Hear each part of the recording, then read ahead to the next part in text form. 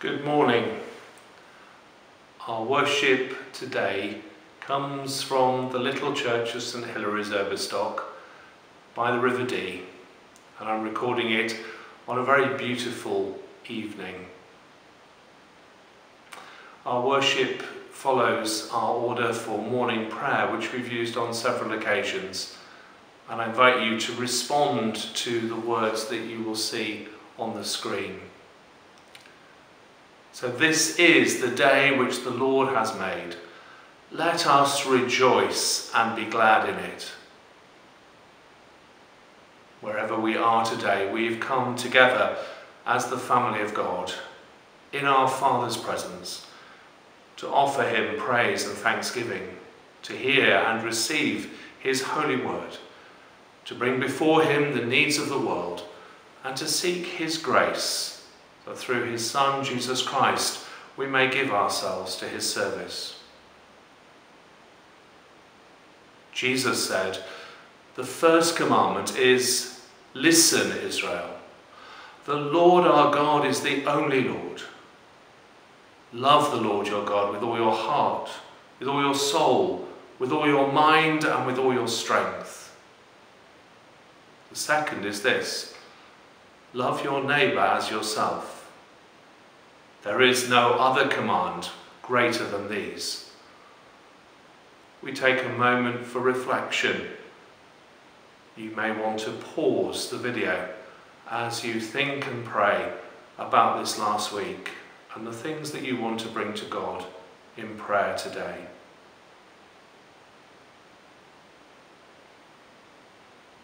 So let us confess our sins to the Father and seek his pardon and peace. Almighty and merciful God, we have sinned against you in thought, word and deed. We have not loved you with all our heart, and we have not loved others as Christ loves us. We are truly sorry. In your mercy, forgive us. Help us to amend our lives, that we may delight in your will and walk in your ways. To the glory of your name. Amen. Almighty God, who forgives all who truly repent, have mercy on you and set you free from sin. Strengthen you in goodness and keep you in eternal life. Through Jesus Christ our Lord. Amen. O Lord, open our lips, and our mouths shall proclaim your praise. We sing to you, O Lord, and bless your name, and tell of your salvation from day to day. Glory to the Father, and to the Son, and to the Holy Spirit, as it was in the beginning, is now, and shall be forever. Amen. Worship the Lord. All praise to his name. And so we offer our praise and we offer ourselves as we come before God now in the words of the hymn, Just as I am.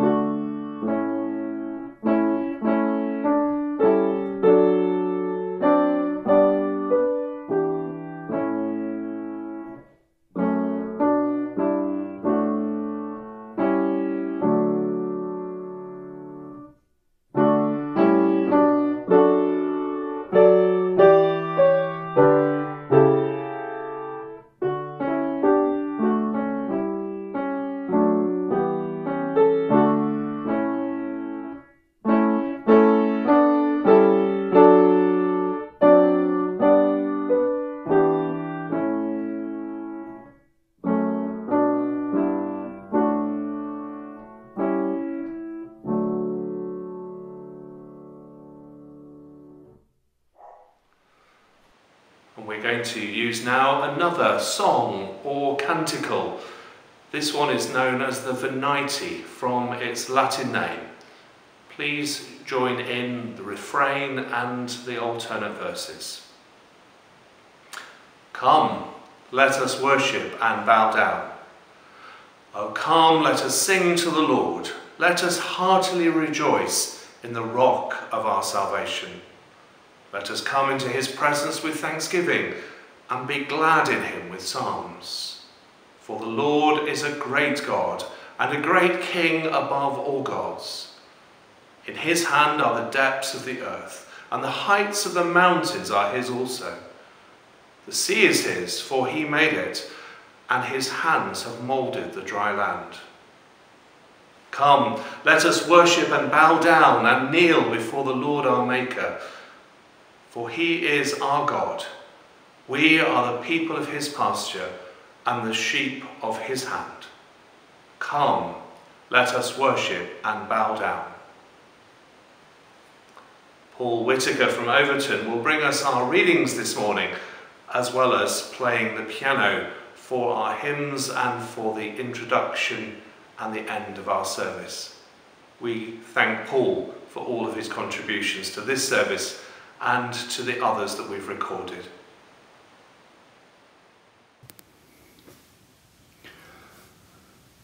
The first reading is taken from Isaiah. For as the rain and the snow come down from heaven and do not return there until they have watered the earth, making it bring forth and sprout, giving a seed to the sower and bread to the eater, so shall my word be that goes out from my mouth.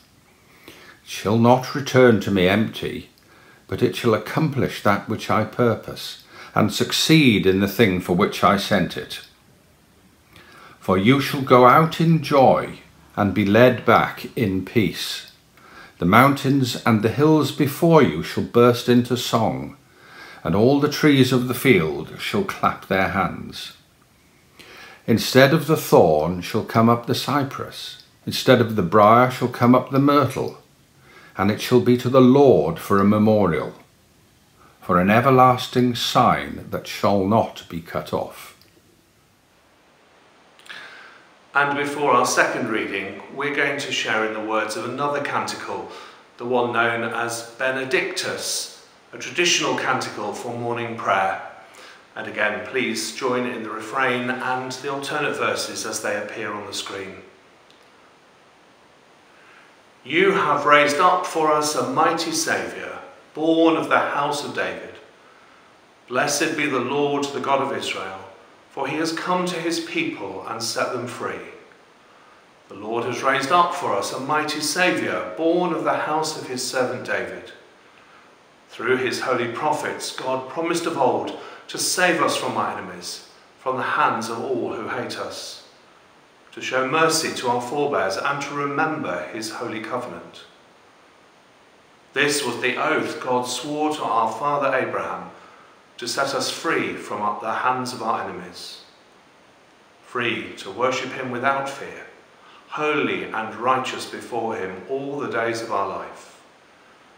And you, child, shall be called the prophet of the Most High, for you will go before the Lord to prepare his way, to give his people knowledge of salvation by the forgiveness of their sins. In the tender compassion of our God, the dawn from on high shall break upon us, to shine on those who dwell in darkness and the shadow of death, and to guide our feet into the way of peace.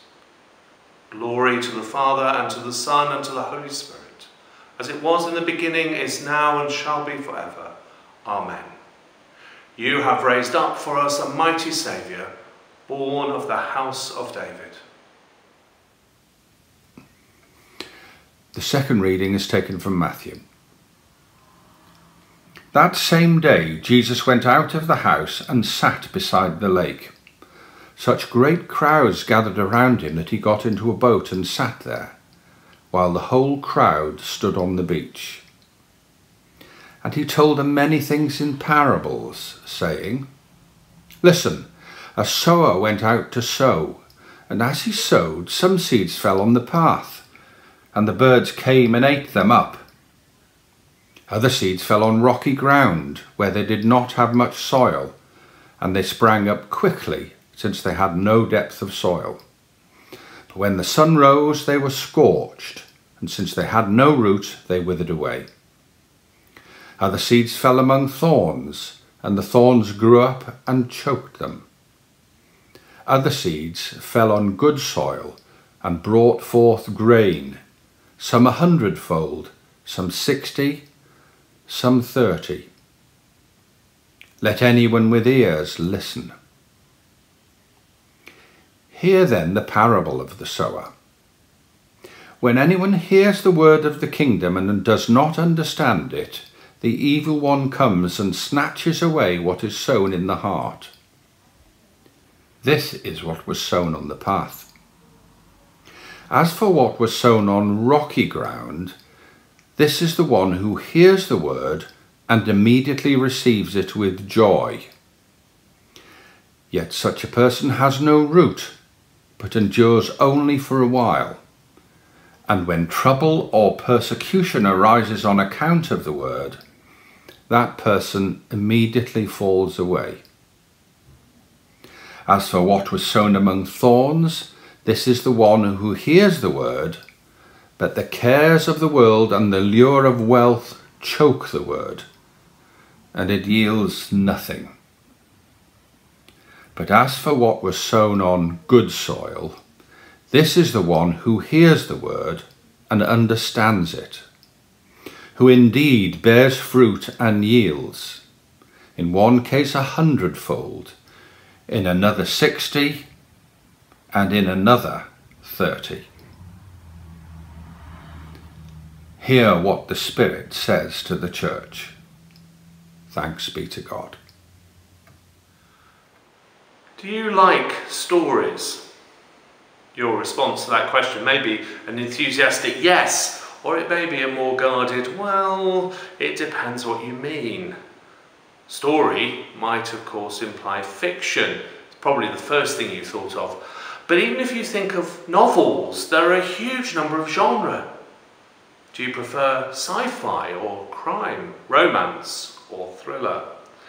Of course, a lot of these translate into the stories that we see on our screens in traditional film and in television box sets, or, if you can remember it, the theatre.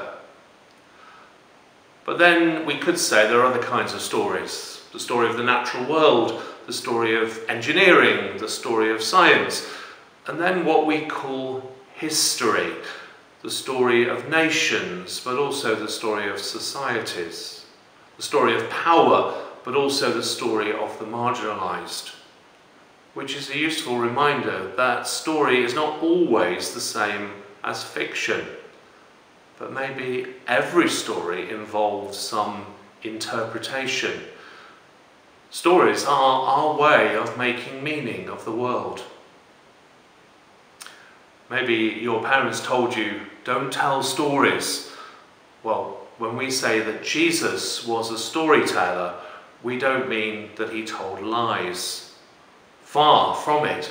He told the truth, but sometimes he told it enigmatically, and his stories can be difficult to interpret. We try to interpret them because we know that they are teaching stories or parables. When I was at theological college, we were told that the point of parables is that they have one simple meaning. But biblical scholars still debate that. If Jesus had wanted his teaching to be really simple, wouldn't he have just said exactly what he meant instead of telling stories? The thing about stories is that they excite the imagination, they open up possibilities, they intrigue and amuse us. Stories are an invitation to reflect, to engage. They are so much more than a teaching point or even an illustration. The parable that we have heard this morning is usually known as the parable of the sower. At one level, it's a snapshot, a brief video perhaps. A sower went to sow.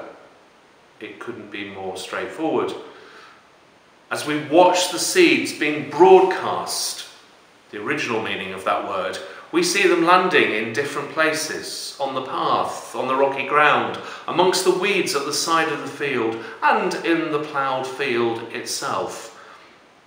this is what you would expect with traditional farming methods. Some of the seed will be wasted on the edges of the field, but most will fall in the good soil and be fruitful. Some of it very fruitful, as Jesus poetically says, some a hundredfold, some sixty, some thirty. Although the sower lends his name to the parable, it's the seeds that Jesus is interested in, it seems. So this could be called the parable of the seeds. Despite the fruitfulness of the main crop, Jesus draws our eyes to the fate of the seeds that fall along the margins, on the beaten earth path. The seeds can't germinate, they're eaten up by the birds. Amongst the rocks, there isn't much soil, so the seeds are scorched by the sun and they die. Where the seeds fall among thorns, they don't stand a chance.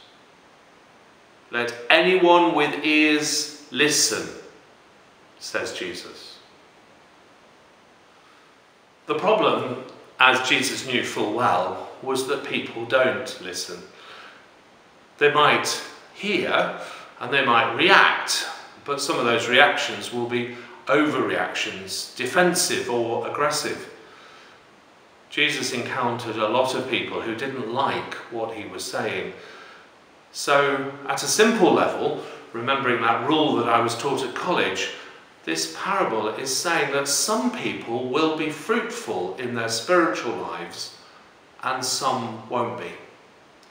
Some will be like beaten earth, hard and unreceptive. Some will lack depth and soon give up.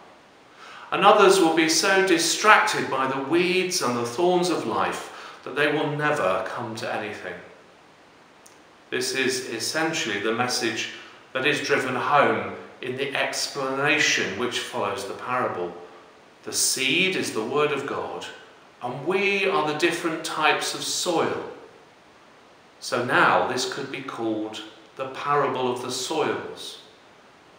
Which kind of soil are you? This is the way that this passage has traditionally been taught, and at a devotional level, it could be quite helpful to think about how receptive we are to God's word. Do you harden your heart to God? Are you somewhat shallow or are you simply too distracted?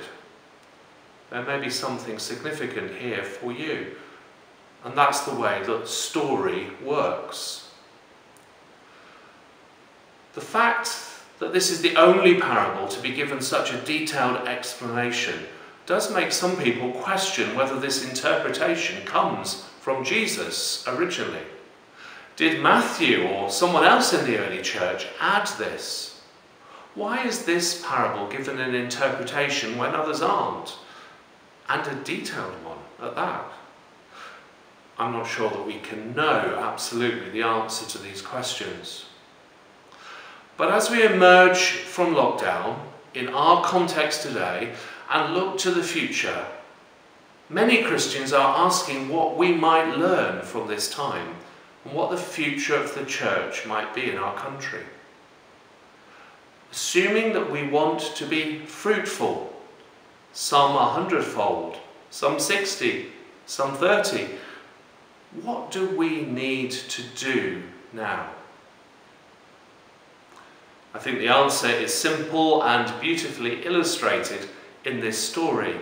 Keep broadcasting. The picture of the sower generously and indiscriminately scattering the seed reminds me that Jesus often puts God at the centre of his parables. The shepherd, the father, even maybe the Samaritan, and humorously, the unjust judge. So maybe this is the parable of the sower after all.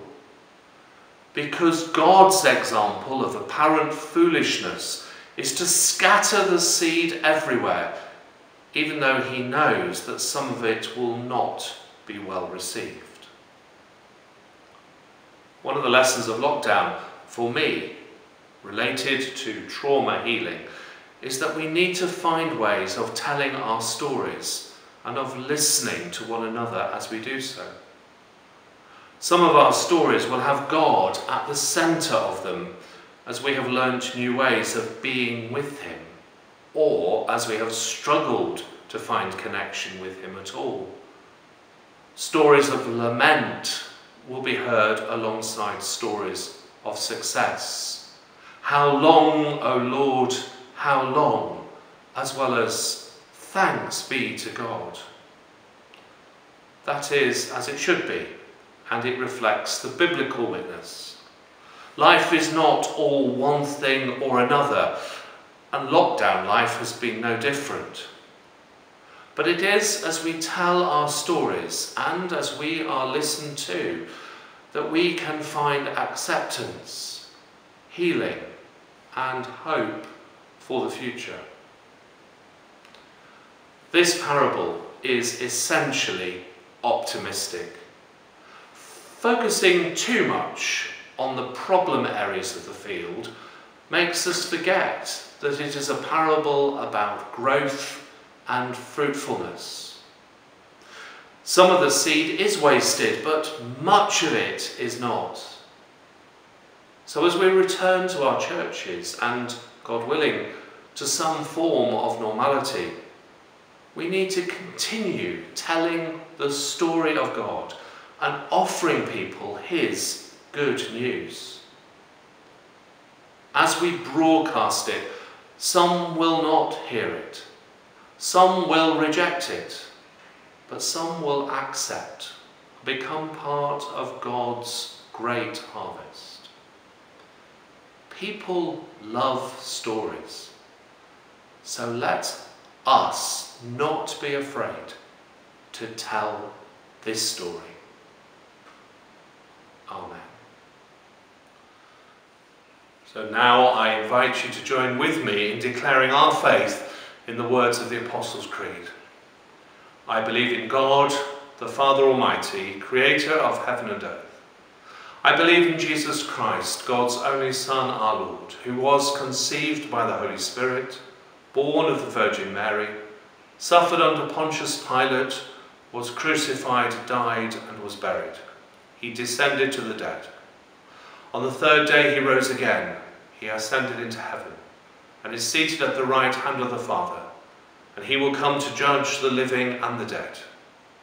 I believe in the Holy Spirit, the holy Catholic Church, the communion of saints, the forgiveness of sins, the resurrection of the body, and the life everlasting. Amen. Now Ed Sample from Erbistock will bring us our prayers from just outside the church building here.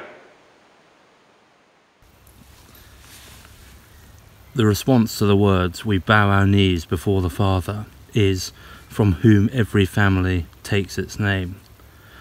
Father, we have come from you, and we take our life from you, your hand. You have placed us in families not of our choosing, but of our, your giving. You have entrusted us to each other. As we think now of the families that nurtured us, we pause to give thanks, or to grieve, or to be angry at the least to recognize that we have been shaped by our families. We bow our knees before the Father, from whom every family takes its name. One description of the Church is a family of God. Lord, you see us in the Church loving and squabbling, fighting and forgiving, and living out all the dynamics of human family life we take this as both a privilege and a problem and ask you to inhabit our life together so fully that hostility is squeezed out. Be our vision, our strength, our companion, so that we never try to take back the life of your church and claim it as our own. In silence now, we hand over to you any particular issues facing us as your church family together plans, problems, people in need, whatever is on our heart. We bow our knees before the Father, from whom every family takes its name. We sometimes wistfully speak of the family of nations, expressing our belief that this is how it should be, but we know that the family matters at this level often become very bitter and violent in different parts of the world. We pray, Father, for your peaceful spirit to permeate the hearts and minds of the leaders of the nations, the elders of the family, on whom so much rests. Particularly, we pray for you to your servants, the gift. We bow our knees before the Father, from whom every family takes its name. Father, we have prayed for answer. What we should have prayed for, remember. What we regret, forgive. And what we are, bless. For Jesus' sake. Amen. And as our Saviour taught us, in speech and in sign we boldly pray, Our Father who art in heaven, hallowed be thy name. Thy kingdom come. Thy will be done on earth as it is in heaven. Give us today our daily bread, and forgive us our trespasses, as we forgive those who trespass against us. Lead us not into temptation, but deliver us from evil. For thine is the kingdom, the power, and the glory, forever and ever. Amen. The collect for this fifth Sunday after Trinity. Almighty and everlasting God, by whose Spirit the whole body of the Church is governed and sanctified. Hear our prayer, which we offer for all your faithful people, that in their vocation and ministry they may serve you in holiness and truth, to the glory of your name through our Lord and Saviour Jesus Christ, who is alive and reigns with you in the unity of the Holy Spirit, one God, now and forever. Amen. And the collect for grace. Please say this with me if you would like to. O Lord and Heavenly Father, Almighty and everlasting God, we thank you for bringing us safely to the beginning of this new day. Defend us by your mighty power that we may be kept free from all sin and safe from every danger, and enable us in everything to do only what is right in your eyes, through Jesus Christ our Lord. Amen. We sing together the hymn, Forth in thy name, O Lord, I go.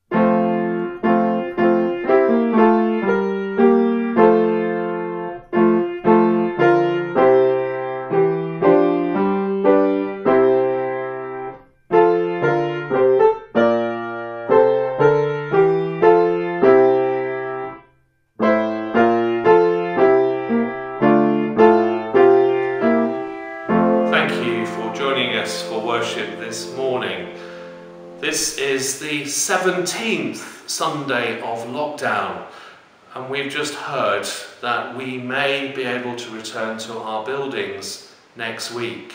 However, there is some work to do before that can happen. So please pray for your church committees and for the Mission Area Conference as we make some decisions and preparations and listen out for more news. But I think that having heard the sermon this morning, we will also need to keep broadcasting. So do keep checking back for Sunday services uh, through this medium. And now let us pray for God's blessing on us all.